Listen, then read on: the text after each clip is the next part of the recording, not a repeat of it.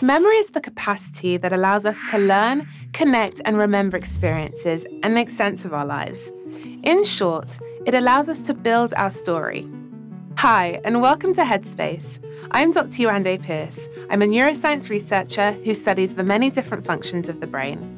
Today, we'll be talking about how memory works and how mindfulness can impact memory. Let's get started. There are still lots of questions about the neuroscience behind memory. One thing that is known is that the brain structure called the hippocampus plays an important role in learning and memory. In one of the early case studies, a patient known as HM had his hippocampus removed to cure seizures. But by doing so, he was unable to form new memories, like remembering if he already ate. This study revealed an anatomical distinction between short and long term memory and showed that the main function of the hippocampus in memory is memory consolidation. Memory consolidation is a way for the brain to manage which short term memories are converted into long term ones, since we don't need to remember everything. Encoding is the first step of memory consolidation and is about transforming sensory inputs from our surrounding environment into something that can be used to create a memory. Think back to the memory of your first crush. You probably still remember their smell, appearance, voice, maybe even touch. What you probably don't remember is the smell, appearance, or voice of the stranger behind them. That's because a sensory memory only lasts a few seconds. While your brain processes all the sensory information in the cortex momentarily, it selectively transfers the information to the hippocampus, where the next step takes place storage. The hippocampus acts as a short term storage and organization center for new potential long term memories. Short term or working memory has limited capacity and only lasts a few seconds to hours. For example, when someone asks you to remember a number and you keep repeating it, you can recall it for a short time, but soon forget.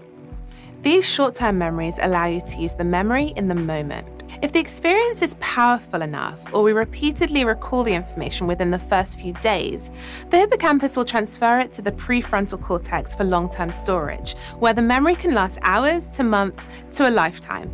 It's kind of like that phrase use it or lose it.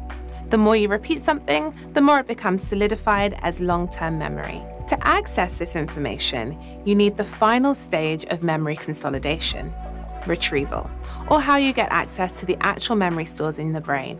The neurobiological mechanisms that underpin memory formation involve the creation of new connections between neurons called synapses, which allow them to transmit electrical signals between one another by secreting chemical messengers called neurotransmitters.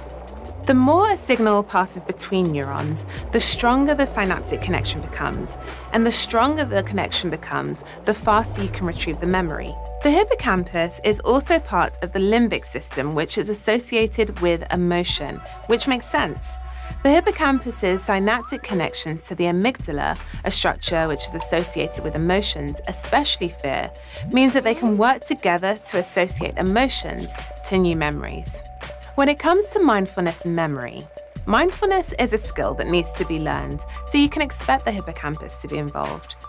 But can mindfulness actually improve memory? There's not enough conclusive research on the direct impact of meditation on memory, but numerous studies provide clues. Studies on long term meditation in elderly populations, so those vulnerable to age related cognitive decline and Alzheimer's disease, suggest that there is less age related grey matter atrophy in long term meditation practitioners. Another study found that a few weeks of meditation training helped reduce mind wandering and improve attentional focus during the verbal reasoning section of the GRE. This study concluded that these findings support mindfulness as a way of promoting attention to the present moment and minimizing interference from past events. Additionally, another study actually looked at the neurobiology of a group of people who meditated to those who did not. They monitored physical changes within the brain through what's called fMRI, which is a way to indirectly look at brain activity through blood oxygenation. What researchers found was that those who meditated showed less neural activity in their ventral posterior medial cortex, or the region of the brain that is associated with mind wandering. I'm Dr. Yewande Pierce, and thank you very much for watching.